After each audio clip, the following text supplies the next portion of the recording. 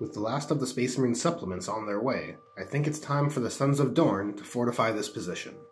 Let's paint an Imperial Fists Space Marine. On the table this time is a Primaris Intercessor.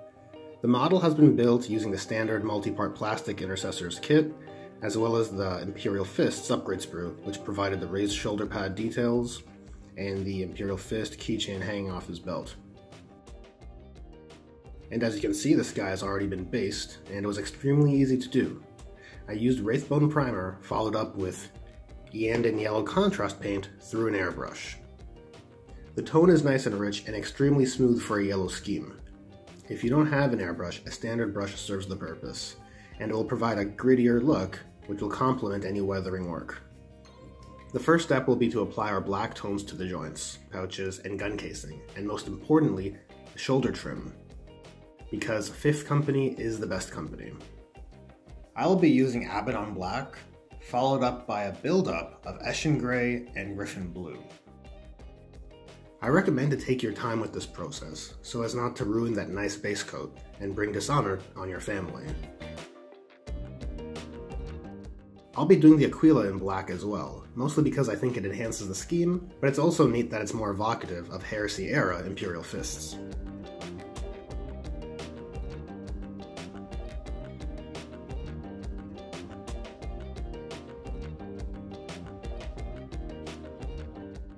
Next, we're on to the metallics. I'll be using Iron Warriors.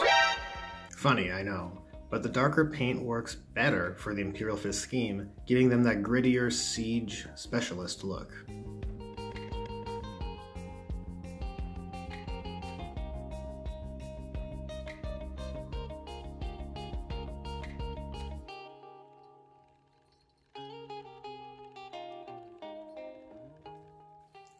Pour yourself a glass of something, because it's time to paint the eye lenses and do some freehanding. I'll be using a base coat of Mordian blue, then layering up with Lothern blue and using Baharroth blue for the brightest points. First we'll paint the whole lens in our dark color, Mordian blue. The next step will be to build up our medium tones towards the bottom of the lens.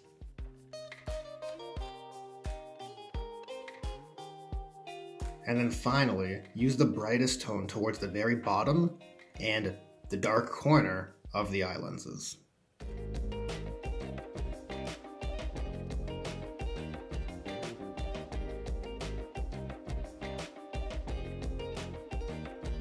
Freehanding is something I'm striving to improve upon. So bear with me as I stumble through this and correct the errors along the way.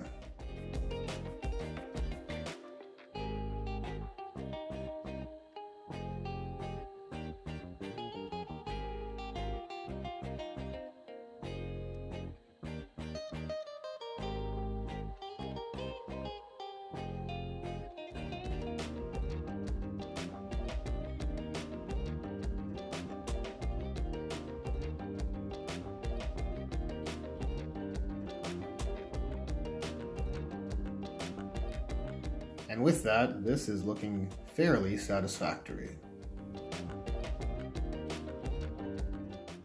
Finally, we are ready for our washes.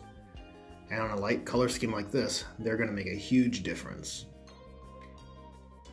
The first wash will be a 1 to 1 to 1 mix of Nuln Oil, Agrax Earthshade, and Lahmian Medium. These will be for our armor components. The metal areas will be done in a plain Nuln Oil wash. Adding the medium will prevent the wash from being too aggressive, but still take care to make sure the recesses are the only areas which are being affected drastically.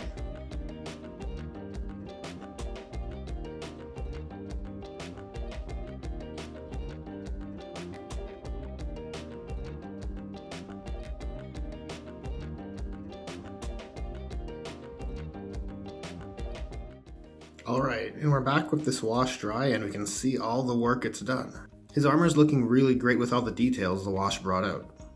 The next step will be to add some weathering to this guy. I'll start by evenly mixing Eshin Grey and Rhinox Hide, which will be applied with a sponge. I'm a little hesitant to go overboard on this kind of stuff. Follow the rule of less is more and build up the wear gradually, keeping in mind the areas being closer to the ground would have a heavier buildup. This will be followed up by something weird. One of those moments where you gotta be brave, I suppose. I'll be mixing a 1 to 1 to 2 ratio of Rhinox hide, Eshin Gray, and Lahmian Medium. The idea here is to achieve an effect similar to what a concrete or urban weathering powder would provide, to add that lived-in feel to the model. And with the weathering done, I'm ready to begin the edge highlighting phase. I'll be using a mix of Yriel Yellow and White Scar for the armor, and Mechanicus Standard Gray for the black tones, and Runefang Steel on the major metal areas. Nothing fancy here. Just take your time and keep your paints thin and your brush hydrated. Also be mindful not to edge light the weathered areas to the same intensity, as it'll look bizarre and worsen the effect.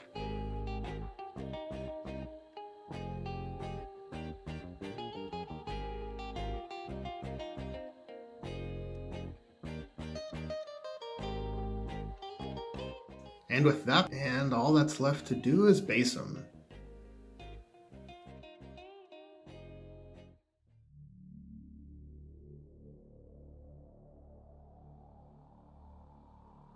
This Imperial Fist Intercessor is now ready to follow the legacy of his Primarch, defending the Imperium of Man from the horrors of the grimdark future.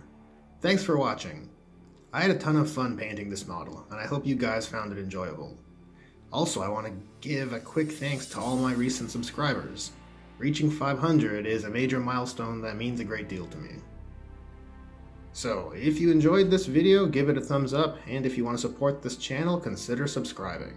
And if you have any suggestions for future Let's Paint videos, or any questions about this model, ask away.